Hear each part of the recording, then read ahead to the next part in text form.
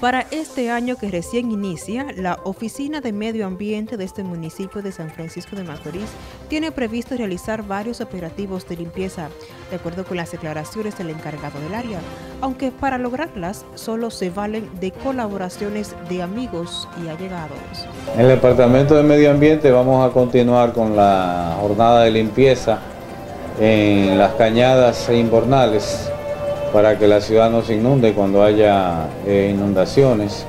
Hacemos un llamado y aprovechamos también a la gente que vive en las cañas, cerca de las cañadas que no sigan tirando residuos sólidos y plásticos a las cañadas, que eso causa demasiado daño, entapona todas las vías y causa mucho daño a otras personas y a ellos mismos.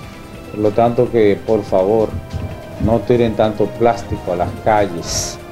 Además de eso, vamos a continuar con el proceso de charla en las diferentes escuelas que siempre se vienen haciendo.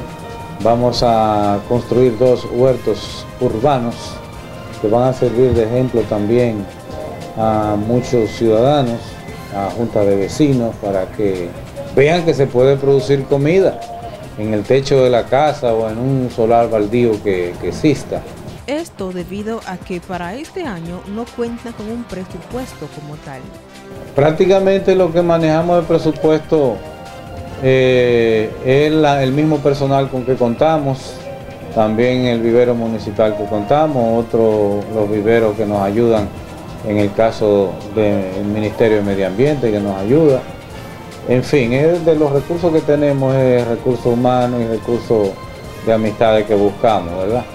Y directamente no hay un presupuesto dedicado para una u otra labor.